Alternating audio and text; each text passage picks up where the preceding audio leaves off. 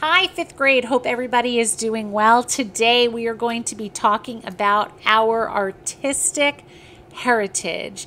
And we're going to focus on a specific master artist today named Diego Rivera. So you may be familiar with Diego Rivera's work already. We looked a little bit at his work when you were in grade three, when we learned about Frida Kahlo, uh, who was the famous self portrait artist that we used as a master artist then.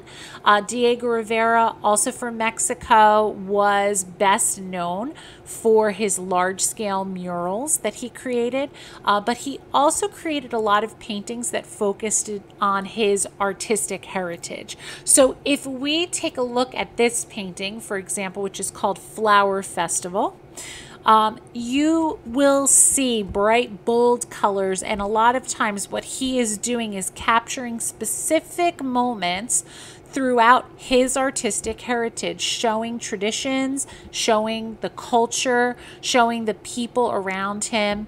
Um, and we see a lot of that throughout his work. So he's a great person for us to look at today. So everyone remembers things from the past, right? Uh, you may remember places you visited or clothes you wore or maybe food that you ate. Maybe you have an aunt or an uncle who makes a specific dessert that you really, really love. This is all part of your heritage, okay? Um, when we think of the past, we recognize traditions that we hope will continue every year. Um, and things that we wish maybe would change as well. Um, artworks like this one, which is called The Weaver, also by Diego Rivera, they can actually teach us about the past. For example, the woman in this painting is weaving on a loom. That's not something that we would see today, you know, walking around.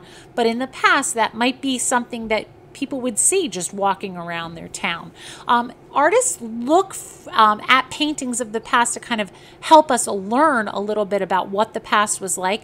We also look at artwork to learn about what other cultures are like as well around the world um, and within our own country um, too. So today we're actually going to pick a topic that talks a little bit about your artistic heritage, something maybe that is unique to your family or maybe unique to your culture um, that can express a little bit about who you are. It can be a tradition, something you do every year, or even it can be something that you hope for the future.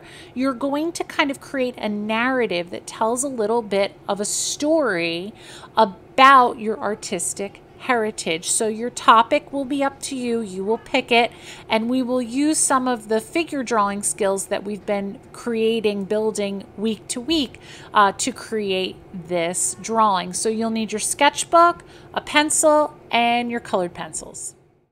Okay guys, so before you start this drawing, you probably are gonna need to do a little bit of brainstorming as far as what your subject is going to be when we talk about artistic heritage. Like what are you going to draw that's going to tell a little bit about you or your family traditions or your culture. So come up with a few ideas before you start. For me, for example, um, something that is a family tradition for my family is parades. We always go to parades, bring our lawn chairs, you know, we'll watch everybody walk by. It's just a big fun day. Um, I'm actually Irish and my culture, uh, something that we do a lot on St. Patrick's Day. Um, we have like a big meal so that's something I could do. My whole family comes. We have the same food every year. You know, everybody dresses up in green. So that's a possibility for my subject matter. Um, and, oh, and the last thing, you know, I would say, and this is going to seem a little strange, but um, we always have a front porch no matter what house I live in and that is like a gathering spot for my family. So we like to sit out there and just talk especially in the summer uh, you know at night we'll sit outside and just enjoy the porch and and the nice weather. So um, of these three things I think I might go with St. Patrick's Day just because there's a lot more I can do and, and think of like right off the bat um, when it comes to food and people and color and things like that. So I'm going to go with this one and I'm going to start off just by drawing some things out. So uh, for me, and I'm drawing with a marker so you guys can see a little bit better, I would probably start off with a big table and I'm going to sketch everything out since the table is coming closer to me, I'm going to make it get bigger um, and then kind of come up with, you know, where the things, the, the plates would be on the table. I'm going to try to use a little bit of depth here and get things looking smaller as they're moving away.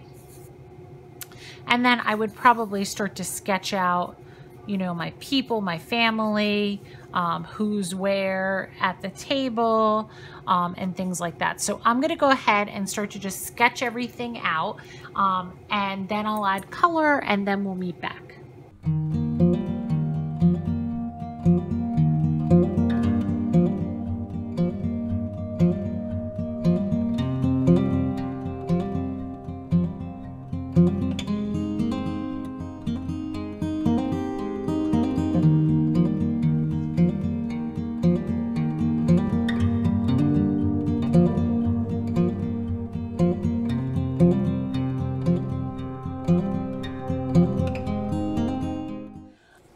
Fifth grade, so here is my final drawing. Notice I kept this very sketchy this week.